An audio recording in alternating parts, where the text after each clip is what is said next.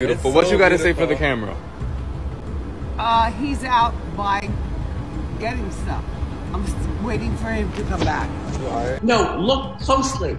Right. Hold up, please. Will, hold up. I can't hold it higher. Ooh, diamonds. Do you see this? so many years I can't count. There are a lot of people worried about Wendy Williams, and there's a good reason why. Her attorney shares that Wendy's team abandoned her and left her alone to die. She's also fighting for her basic human rights in the courtroom. On top of it all, the internet believes that this is Wendy's karma. After years of gossiping on her show, some people believe that she's getting what she deserves, but others believe a conspiracy that she was cursed by eating a crow. So let's get into it. So Wendy Williams was left to die, according to her former attorney. So Wendy's attorney's name is LaShawn Thomas, and she's based in Miami. She recently gave a statement to Page Six and described what Wendy's going through fighting for the rights to her finances. As you guys know, conservatorships and guardianships are a major problem. Britney Spears was just freed out of conservatorship she was in for 13 years. So it looks like Wendy Williams is now in her conservatorship, which is a guardianship in New York. The point of these guardianships and conservatorships are to help these people who are in them get better, but according to this attorney, Wendy was left to die. So once upon a time, Wendy hired a woman named Lori Schiller, and she is a Wells Fargo financial advisor. So of course, Lori is no longer Wendy's financial advisor, but she's the reason why Wendy doesn't have control over her money, and why Wendy's in a guardianship, which we'll break down in a little bit. I need to go through some clips with you guys of Wendy in New York because that's where she's been, and she's been acting very strange and I feel very bad for her. I mean, watch this video clip where these fans come up to her and she's not making any sense at all. Beautiful. It's What so you got to say for the camera? Uh, he's out buying, getting stuff. I'm s- waiting for him to come back. I don't know if you guys heard, but towards the end of that clip, the fan asked her, Are you all right? Because it seemed like she was a little bit disoriented and clearly wasn't making any sense. Which you guys know Wendy has health issues. She has Graves' disease. She's had issues with addiction before, but something just seems very disconnected in that clip. In this clip, Wendy is with a bodyguard, but it seems like she's struggling to walk. Her legs are affected by the Graves' disease and they get pretty swollen, which we'll see in a picture in a little bit. But watch how difficult it is for her just to get down the street. Hi. Okay. I'm going to Core Club immediately. Okay. This is a real ring. I wanted it so big that it looks fake. It's not fake. Not at all. Have a good night. Thank you. you too. By the way, my next destination is Core Club. Okay. Get my money. Correct. Good luck with that. A few things I want to mention about that video. She kept saying that she's going to like court club, core club, court. Like, can you comment below because she's claiming that she's going to this place and that she's going to go get her money. Um, I thought she was saying court, but I, I just like, can you guys comment below what you thought you heard there? Also, you may notice that her eyes seemed extremely wide, which is part of having Graves' disease. She had it on the Wendy Williams show and she has it here, but it does seem like overall she's not doing well. There's one last TikTok I want to show you guys, and this one doesn't have any sound, but I guess a fan saw Wendy Williams at the grocery store and she was completely alone. She had zero security. So if she's unwell, why is she alone shopping? And I guess she wasn't shopping because she supposedly walked out with the items with the cart without paying and they actually wrote on this TikTok that she was going crazy in the store which they uh, never show any proof of her going crazy. They also claim like oh 10,000 likes and I'll show the video of her going crazy. So I feel like this like TikTok's a little bit like you know gaslighting but who knows? I did see one comment claim that she was wearing the same clothes that she had on the day before when she fell asleep at the Louis Vuitton. So it she's on some like I don't want to say bender because I don't think that she's using, but I feel like she's like under some type of treatment. You guys know Britney Spears was forced lithium during her conservatorship, and now Wendy's in a guardianship. Who knows what they're putting her on? It seems like in those previous videos that she was on something when she's just saying random things and slurring her words. I also want to play this clip for you guys because I feel like this clip shows that whoever is working with Wendy right now does not have her best interest in mind because she did this interview like a couple months ago at this point and she seems to be very unwell inside of it and like I again don't understand which like what type of publicist or what type of manager would allow her to do an interview like this Right here, look. Okay. Please. No, look closely. Right. Hold up, please. Will, hold up. I can't hold it higher. Huge diamonds. Do you see this? Eh. so many years I can't count. Will, Will, So, Wendy. it actually makes me sad to see that clip because she's obviously disoriented and they're just laughing at her like oh wendy oh wendy. And some people believe that wendy williams is going through this because she's talked a bunch of crap in her life which i believe in karma but i don't think that like i don't know. I know a lot of you guys are going to think that this is karma but in my personal opinion i don't know if it is karma.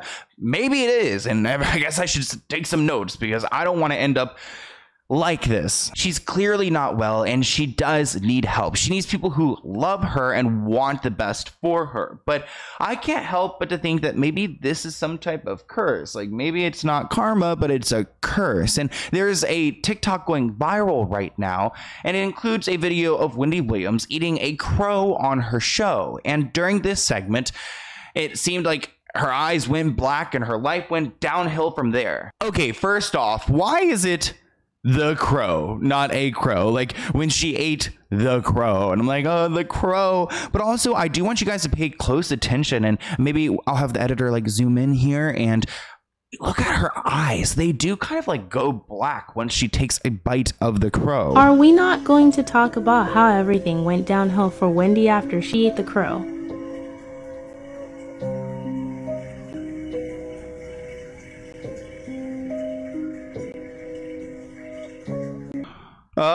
This conspiracy honestly kept me up last night, and I was like, I have to talk about Wendy today. Could you guys imagine if the Wendy Williams show like set her up and like cursed her or did some type of satanic thing? I mean, you guys know the Wendy Williams show did not take care of Wendy. I mean, at this point, that's just a fact. Wendy Williams' ex husband claimed that the producers would not sign off on agreeing to get her help when she was recovering from addiction issues. Kevin Hunter told Page Six that the company that was helping produce the Wendy Williams show did not want to engage in any activity that would take Wendy Williams away from her purple chair, and they would not sign off on anything that would help her recover. They sat in a meeting with her whole family, including her now deceased mom, and would not sign off on the recovery efforts that would have helped Wendy get well and live and be sober. They basically said, if you don't stop drinking, you're going to lose the show. So maybe Wendy is relapsing again and she's dealing with her addiction issues, but I cannot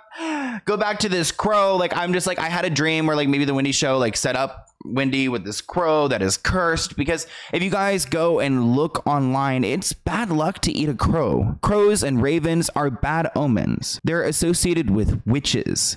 Most people believe they steal and they eat other birds' eggs to reduce the populations of other birds. When I googled why don't you eat crows, it says that one of the first references to crows' foulness comes from the Bible. Of the birds, these you shall loathe, they shall not be eaten. And it seems like crows and vultures and hawks and all these kind of go together in the Bible. I did go through and read some quotes about these birds in the Bible, and I found this one I wanted to share. And these you shall detest. Among the birds, they shall not be eaten. They are detestable. The eagle, the bearded vulture, the black vulture. So Wendy should not be eating the crow, and nobody should be eating the crow, which I get that's religion, and you've got to like disconnect religion from something sometimes because there are plenty of countries who they eat tons of crows and they're perfectly fine. Here's a second TikTok where they explained this theory further. Is Wendy cursed after eating a black crow live on TV?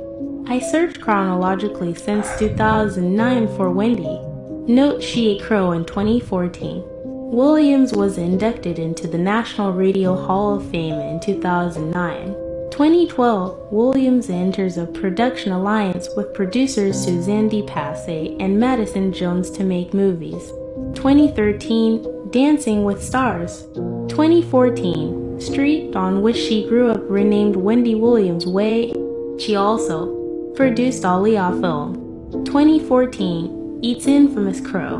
2015, hosts documentary Death by Gossip. 2016 anti-trans drama. Also snake cheating Kevin Leeds show. 2017 stops wearing high heels sitting more and wearing dad shoes illness getting worse. Also 2017 infamous Liberty fainting scene. 2018 has a three-week hiatus due to issues with hyperthyroidism and Graves' disease. 2019 Kevin Hunter her son arrested. 2019 rehab. Random celebrities hosting show. Divorce announced because Kevin has Mistress's rap baby. 2020 divorce finalized. Show on hiatus for Coronai. 2021 Bizarre Wendy videos show up on social media. They also include that in 2022, the show was canceled after 14 seasons, and 2022, Wells Fargo froze her accounts to determine whether her health conditions render her incapacitated. I don't know if Wendy Williams was cursed by a crow who the hell knows? But it's an interesting theory, and I definitely need to hear what you guys think in the comments below. Like, I just like I want to read those comments and understand where your mind is at when you hear this. But something I can say with my full chest is that Wendy Williams does not need a guardianship, and uh, she agrees. She doesn't want one. Wendy is under this court-ordered guardianship, which she feels like she doesn't need because she is fully capable of managing her money. Yet she's been in this guardianship since spring this year, so her rights were stripped away. It all started because I guess Wendy wanted to buy her son, Kevin Jr., a condo in Miami, which ultimately led to her guardianship. So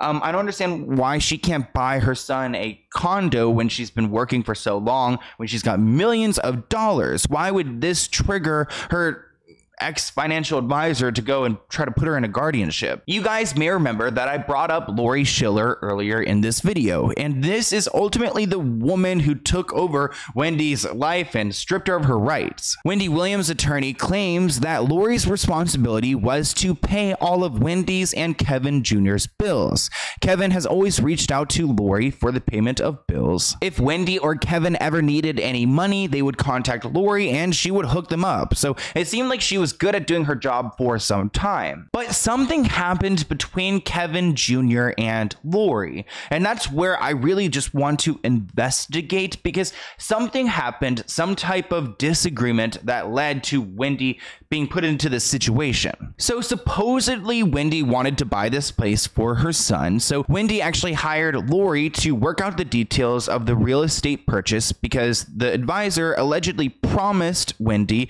that she could help her avoid commission fees. A month before Kevin Jr.'s lease was up, however, he got a call from his landlord that said that he never received an offer to purchase and the price had skyrocketed another quarter million dollars. So I guess at some point, like, Kevin has been living in a condo and then ultimately wanted to buy it. Lori was supposed to help this situation and help him figure that out, but she never, I guess, did her job because the landlord never received an offer. So that's one side of this story. There's another source that claims that supposedly Kevin had charged $100,000 to his mom's credit card without authorization and demanded Lori to pay it. The validity of this report is unclear because it came from some anonymous source. But Kevin Jr. denies this. He claims that I deny any of these allegations that I use my mother's American Express card. This is a false narrative to justify freezing her accounts. And honestly, I believe Kevin here. I mean, I, I don't think Wendy is holding back money from her son. Like,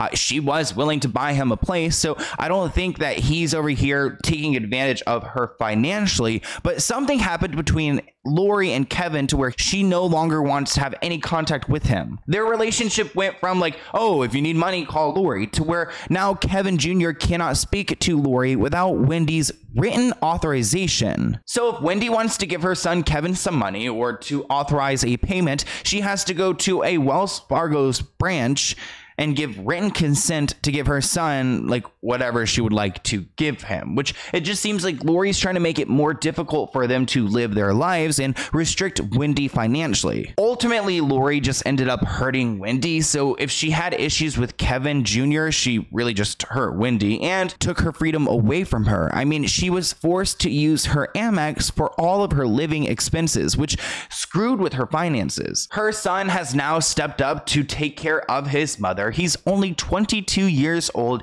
and he's got a ton of responsibility, and she's now still in a legal battle for her rights. Wendy was actually seen walking around New York City a couple days ago, which I find very convenient because her lawyer came out and said that she, Wendy Williams, was left to die. And then this story runs, and the following day, Wendy Williams is walking around all cheerful and happy, like there's no problem here. It reminds me of the Britney Spears situation because we would learn something about Britney, and then they would try to counteract it by being like, you know what, Britney's okay. Look at her here. Or we spot her out and about. She's totally fine. She's free when she's really not. And Wendy does look happy here. She looks a little bit more, I guess, conscious and in the moment. Obviously, her legs are a little bit like, I guess, swollen from the Graves' disease. It's it's like a little bit rough, but I mean, okay, girl. I mean, she's out and about and she's walking fine. At least she's out of that wheelchair she was in. And honestly, I'm glad I did this video today because another thing has happened when it comes to Wendy because she's coming out with a podcast. If you guys go on Instagram, you will see there is an Instagram page for the Wendy Experience podcast, which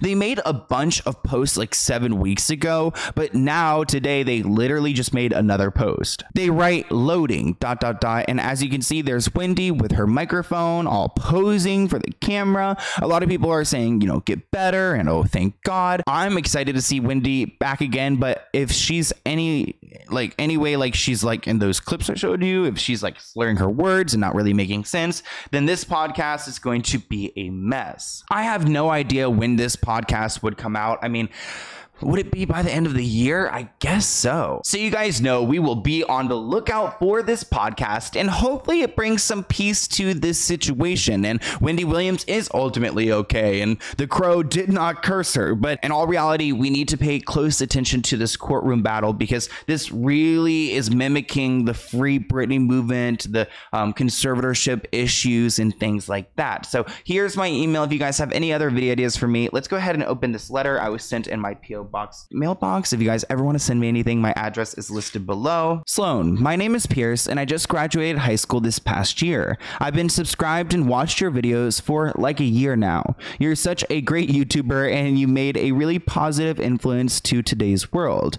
I feel like watching your videos have also inspired me to be a better person. Anyways, I'm an autograph collector and I was wondering if you could sign this pic for me from Pierce. Aw, and I guess I'll just mail it back to wherever this address is on this on this thing envelope. Oh, cute! And he sent me a picture, or, or, they sent me a picture. I don't know if it's. I guess he. He right, Pierce. Wow, he sent me a picture of myself and asked me to sign it. Should I do it? I wish I had a, like a sharpie. I would do it right now on camera. Actually, I know Adam McIntyre, a YouTuber. He sold like a hundred pictures of himself signed. So if you guys ever like, that's something I've always kind of wanted to do, but I don't like only would want to do if people wanted it. But he like printed and signed pictures and sent them and like sold them, I guess. And I would do that. Like if you guys, you know, obviously not like some crazy expensive, but like I think he did ten dollars or something, and it was like signed and shipped to your home. I would totally do that. So comment below, and Pierce, I'll try to get this to you as soon as possible. I'm gonna have to like literally put this all to the side and make sure it does not get lost because I'm a mess. But anyways, thank you guys for watching this video, and I'll see you guys in a new one soon. Bye, guys.